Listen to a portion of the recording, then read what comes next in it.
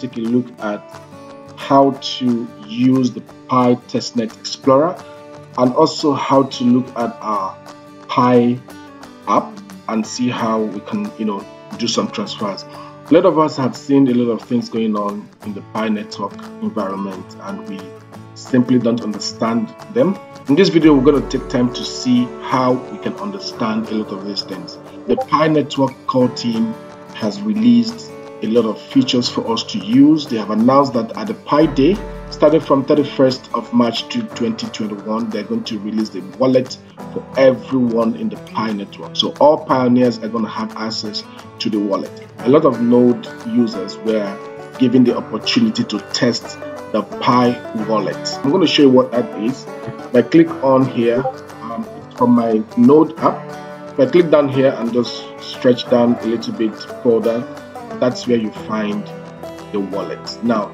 the Pi Network team has said that they're going to release this for all pioneers to use, which means it's going to be available on your mobile app. So have no fear. It's interesting to see. I'm going to take you through what it means for you, what you're going to gain from it, how you're going to test, what you will require to do, and everything you need to know basically on it. So I'm providing you a little bit of basic knowledge to what it's going to be.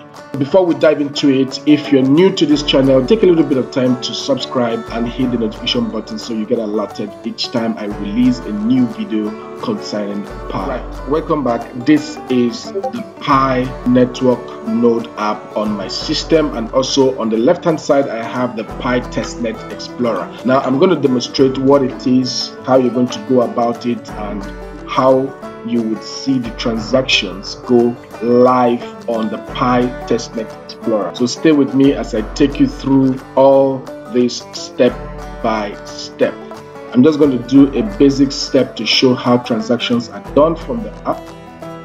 Then we're going to look at the Pi Testnet Explorer to see those transactions come up live. The Pi that is given by the core team through this app is only for test purposes. It does not add to your current value or to your current Pi that you have mined. It does not add to it. It's just for you to test. Okay, welcome back. We're going to take time to go through how to send Pi, receive the Pi, and then we'll go straight to Testnet Explorer to see the transactions live. The first thing we do is we come to the menu, we click on the menu, we go straight to wallets. I've already signed in, and that is why it's going to take me straight to show my balance. And then I have two buttons saying receive and send then history button. The history button, let me show you real quick. If you click on the history button, it takes you straight to show the transactions that I've made previously, both the ones I have sent out and the ones I've received.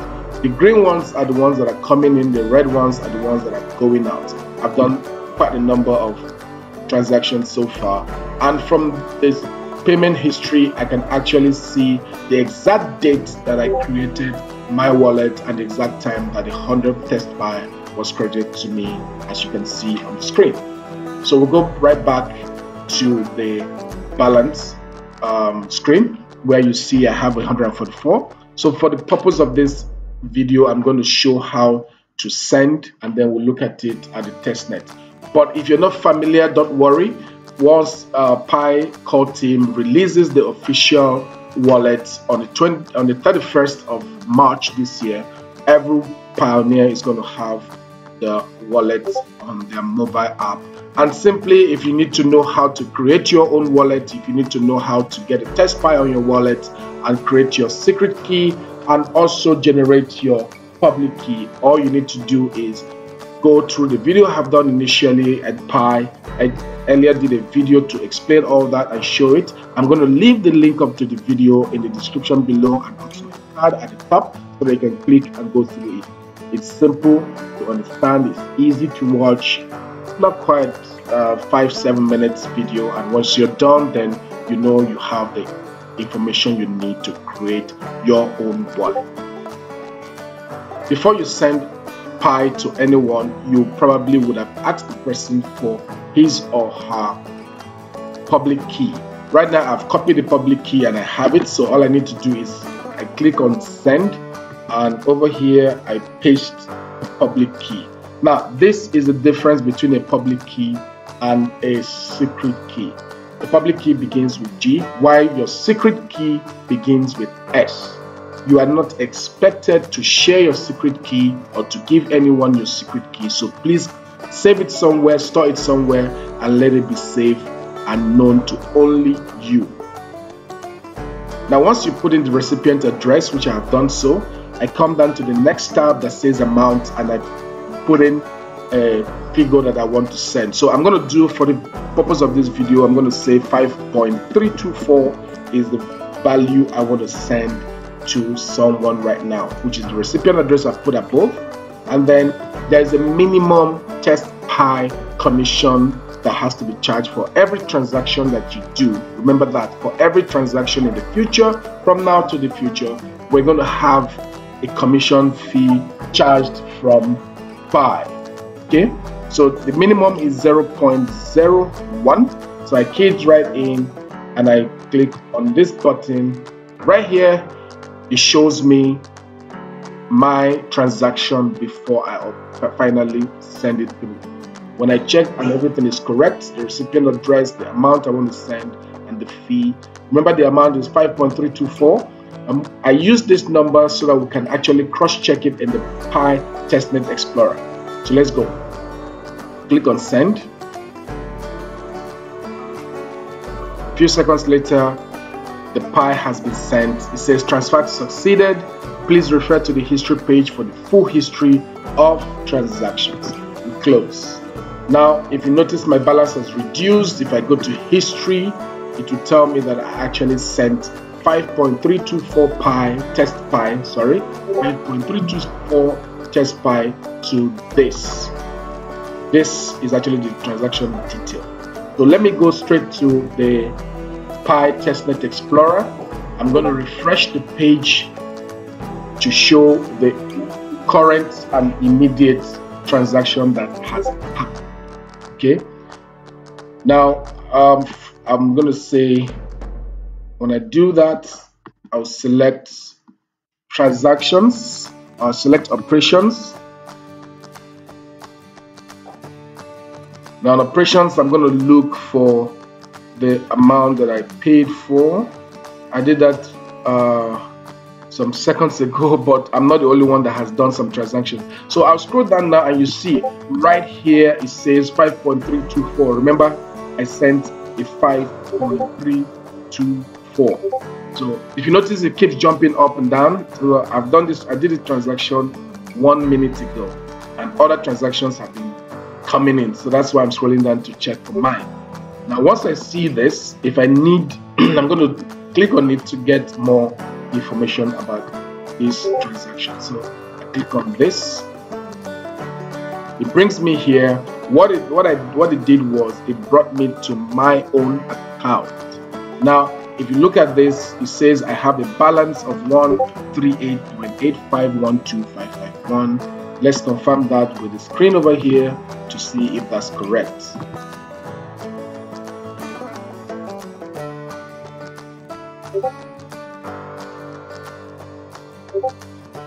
All right fantastic. I click uh, back to get back to my balance and as you can see i have a 138.85125 the same here applies on the blockchain simply means that the blockchain is connected to my wallet and this is beautiful. Right now you can see my public key in case you want to send me any Pi. This is my public key. Now if I click on payment from the blockchain, it shows the transactions I've done recently. The transactions I've done recently, including the one I just did two minutes ago. Okay, that is the 5.324 buy I did. So basically, I am looking through my own account. You can look through anyone's account, everybody's account, and you can see what has transpired and what is going on. Okay, the only thing you could not see or you cannot see is the name of the person. Rather it will be encoded okay? So I go back to payments. Let me select the transaction ID and it will bring me straight here okay? It tells me that I've paid 5.324 pi to DG GDG6 okay? Now who is GDG6 let's click on GD G6 and when we click on that we see his own account okay? This person's account he has a balance of 202.1245336 test pi in his account and this is his public key.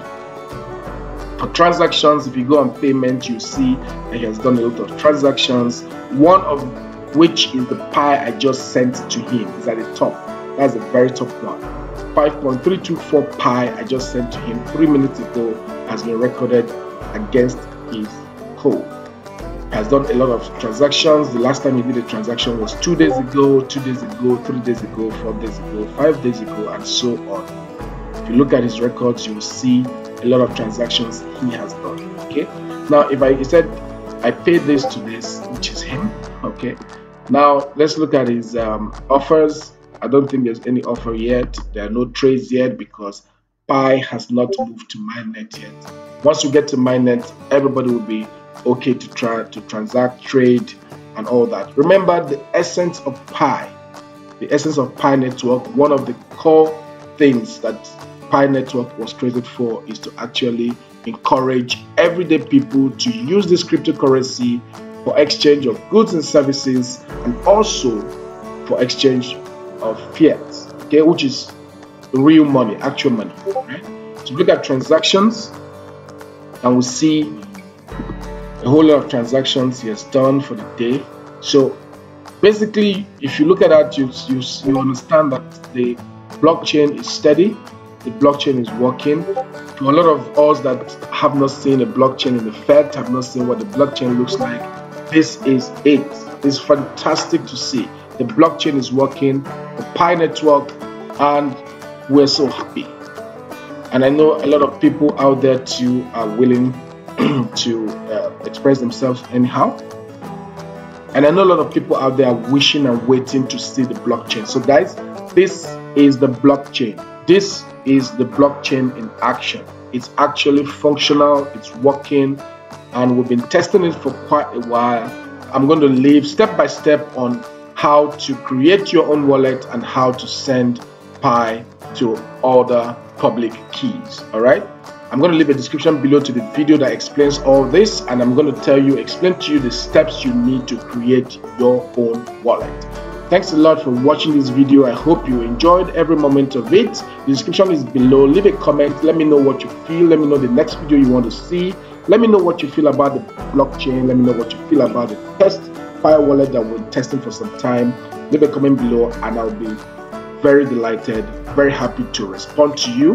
If you're new here and you've not subscribed, make sure you hit the subscription button and also the notification button so that you can get alerted each time I release a concerning Pi or a video that just generally gives you basic knowledge. See you in the next video. Thanks for watching and remember, keep mining.